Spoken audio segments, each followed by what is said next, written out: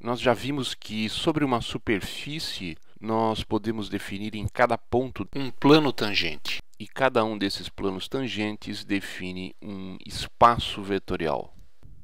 Em cada ponto da superfície nós podemos definir uma base, uma base local. Normalmente nós tomamos uma base coordenada. Um vetor definido sobre a superfície agora pode ser expresso em termos dos elementos de base. Nós já definimos o conceito de campo vetorial sobre a superfície. O que nos falta agora é definir uma maneira de comparar vetores em diferentes pontos. Isso não é trivial porque pontos diferentes sobre a superfície M correspondem a planos tangentes diferentes. Ou seja, nós queremos comparar vetores definidos em bases distintas. Isso seria importante para conseguirmos definir o conceito de derivada, já que leis físicas normalmente são expressas em termos de diversos tipos de derivadas de campos vetoriais. Vamos tentar, da maneira mais natural possível, definir a derivada de um campo vetorial V sobre a superfície com relação a uma coordenada QI da superfície vamos expressar este vetor V em termos de sua decomposição na base local.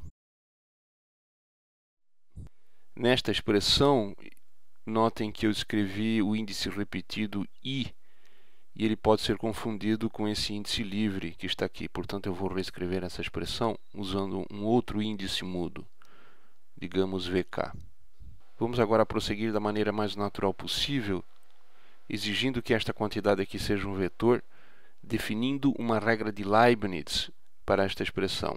Então aqui nós temos a derivada da componente VK com relação à componente QI, vezes o vetor base mais VK, e agora uma derivada deste elemento de base com relação a QI. Isso aqui é bem razoável porque, afinal de contas, quando nós passamos de um ponto ao outro, não são somente as componentes do vetor que mudam, mas também as bases mudam. E isto está sendo levado em conta aqui. O que nós vamos fazer é exigir que estas quantidades aqui sejam vetores. O primeiro termo já é naturalmente um vetor. O que não é trivial é que este elemento aqui seja também um vetor, mas ele deve ser vetor. Ou seja, vamos escrever esta derivada em termos dos elementos de base, definindo coeficientes da combinação linear. Esses coeficientes eu vou chamar de gama.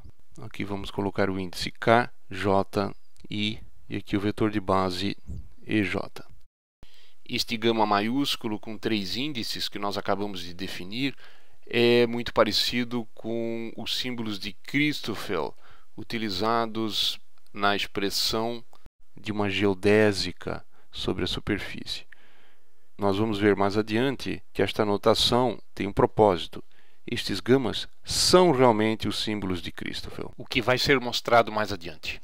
Vamos então reescrever a nossa expressão para a derivada usando a nossa definição da derivada dos elementos de base.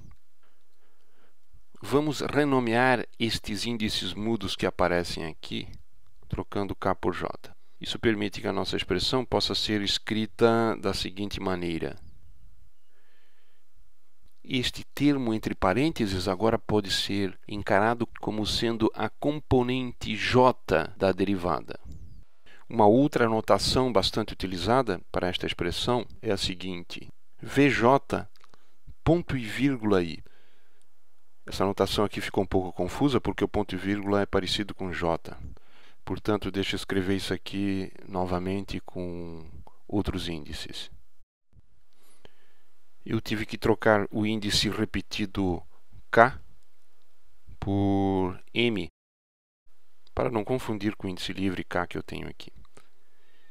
A derivada da componente VK com relação à coordenada QI também usualmente é denotada por VK, I ou seja, vírgula sem ponto. Vamos escrever novamente esta expressão para ficar mais clara.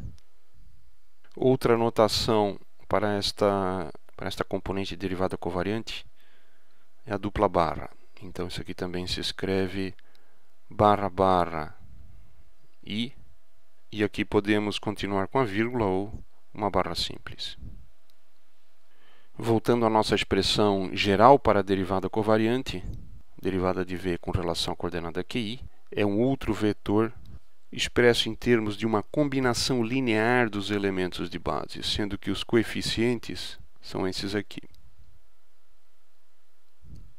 Então esta é a chamada derivada covariante do vetor v.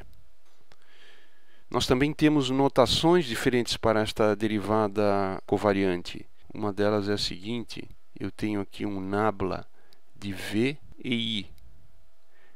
Essa notação pode ser generalizada depois para bases que não são bases coordenadas. Isso aqui também pode ser escrito assim, simplesmente.